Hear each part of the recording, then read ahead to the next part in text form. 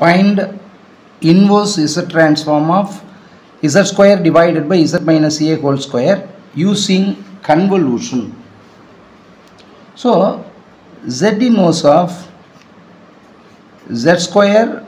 divided by z minus a whole square this can be written as which is equal to z inverse of z square z by z minus a star z inverse of z by z minus a. So this can be written you know very well z inverse of z by z minus a can be written as a power n star a power n which is equal to using the convolution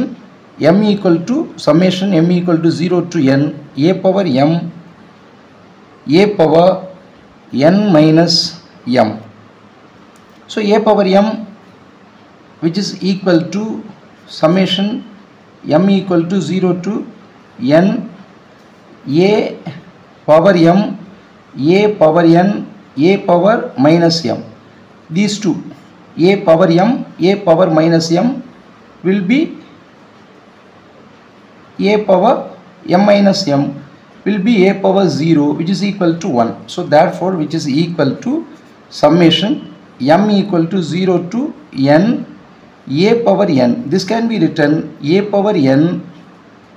summation m equal to 0 to n 1 okay so which is equal to a power n 1 power 0